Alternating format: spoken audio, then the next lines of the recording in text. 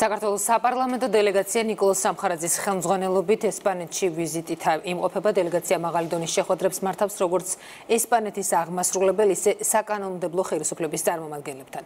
ლევან მორჩიაშვილი მოგუყვება უფრო მეც. საქართველოს ნატოსთან თავსებადობა და საქართველოს მზაობა გახდეს ჩრდილოატლანტიკური ალიანსის სრულუფლებიანი წევრი. საპარლამენტო დელეგაციის ხელმძღვანელმა რგვალი მაგიდის ფორმატში სწორედ ამ საკითხებზე ისაუბრა.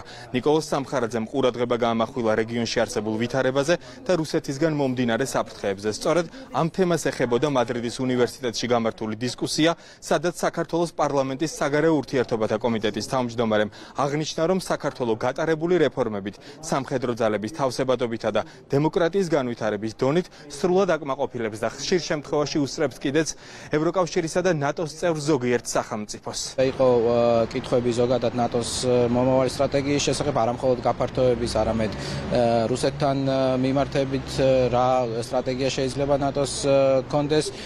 იყო ასევე საუბარი იმასთან დაკავშირებით ამერიკაში ახალი ადმინისტრაციის პირობებში ნატოს ფუნქციონირება როგორ გაგრძელდება. ჩვენ ნატოსგან ველით გადაწყვეტილება მიღებას საქართველოსთან დაკავშირებით მე ვთქვი რომ საქართველოს მზად არის დღეს უკვე რომ გახდეს ნატოს წევრი იმიტომ რომ საქართველოს როგორც შეიარაღებულ ძალებს არა აქვს არანაირი თავსებადობის პრობლემა ნატოსთან საქართველოს თავისი დემოკრატიული რეფორმებით და პროგრესით უსწრებს დღეს არაერთ ნატოს წევრ სახელმწიფოს.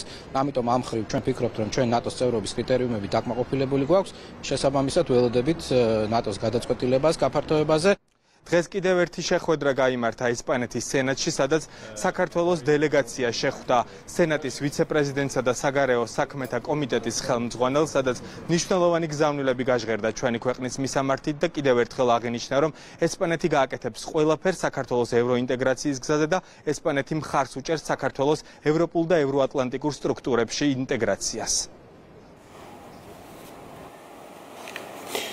ეს ლევან მორჩიაშვილი იყო. უვიზო